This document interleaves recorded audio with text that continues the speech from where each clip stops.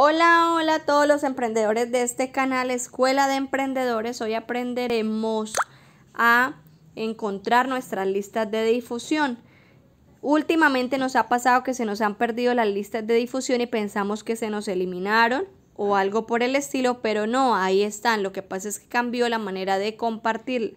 Entonces aquí tenemos WhatsApp Business, en el caso mío, si tú tienes WhatsApp normal también funciona de la misma manera damos clic ahí en WhatsApp Business, que es nuestro WhatsApp. Inmediatamente pues estoy en la, en la imagen que quiero compartir o en el mensaje que quiero compartir.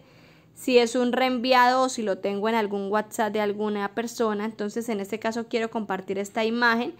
Para compartir, ¿qué hacía yo antes? Solo tocaba la imagen y iba a la parte superior derecha, a la flechita que está hacia su derecha. En esa flechita doy clic Normalmente antes hacía eso, daba clic y me iba donde dice reenviar a y ahí buscaba el nombre de la lista de difusión. Entonces si yo pongo una lista que tengo que se llama activos, ya no la encuentro y pienso que ha desaparecido, pero no, ahí está la lista todavía. Entonces me voy a regresar para decirles cómo se hace ahora. Entonces nuevamente selecciono la imagen que quiero compartir o el mensaje o el link que quiero que le llegue a esa lista, a esas personas, a ese grupo, a esa lista, pero no me voy a la flechita que está hacia la derecha, sino me voy a los tres punticos.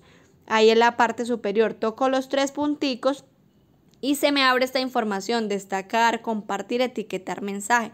Le voy a dar clic ahí donde dice compartir Luego se me abren todas estas ventanas, entonces vuelvo y le digo que quiero compartirlo al WhatsApp. En este caso el mío es WhatsApp Business y doy clic ahí. Al darle clic ahí nuevamente en la parte superior me sale enviar a. Le doy ahí en el buscador y busco el nombre de la lista de difusión que yo tengo.